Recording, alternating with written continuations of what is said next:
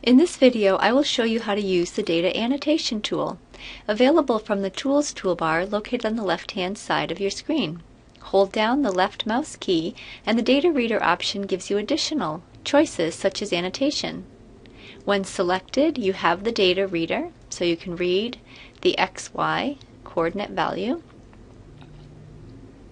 If you look at the status bar on the lower left of the screen, it tells you that you can double click to add an annotation. It also tells you the current label. And you can toggle the labels using the tab key. So it currently labeled it with I, which is the index, the row number.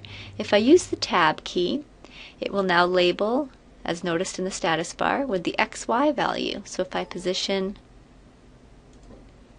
the reader there, double click, I now get both the X and Y.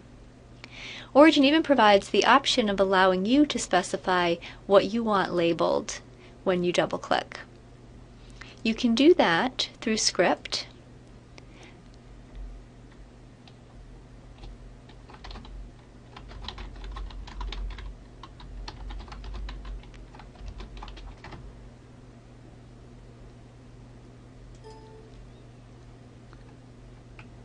Now I must use the tab key again to toggle until the current label reads custom. And now I'm going to get peak is at 1.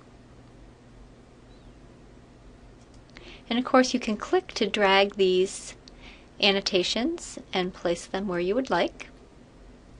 This concludes this presentation. Thank you for watching.